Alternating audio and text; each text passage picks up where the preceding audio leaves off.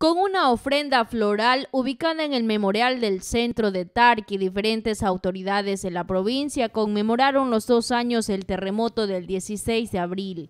José Herrera, secretario de la Reconstrucción, dijo que es un justo homenaje para las víctimas. Bueno, es justo, es necesario, es nuestra obligación tener que rendir un homenaje a las víctimas eh, del terremoto, tanto en Manaví como en Esmeraldas.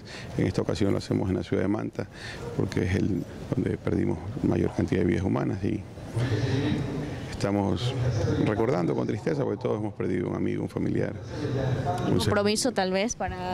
Esto reafirma el compromiso de trabajo.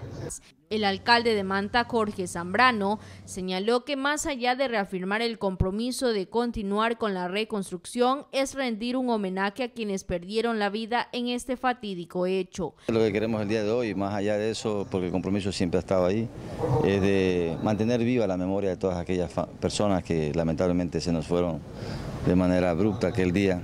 Fabricio Díaz, gobernador de Manabí, hizo la invitación a ser parte de las demás actividades de conmemoración que se realizan este lunes en la ciudad. Nuestra compañera vicepresidenta, los actos oficiales, participaremos también del evento como esto que fue organizado por la gobernación de Manabí, el gobierno autónomo cantonal, las Fuerzas eh, Armadas, la Policía Nacional y otras entidades públicas, eh, haciendo esa conmemoración a los dos años, en este caso en el Memorial. Esta tarde se realiza una misa desde las 18 horas en el terreno donde antiguamente se ubicaba el centro comercial Navarrete y donde murió el mayor número de víctimas del terremoto.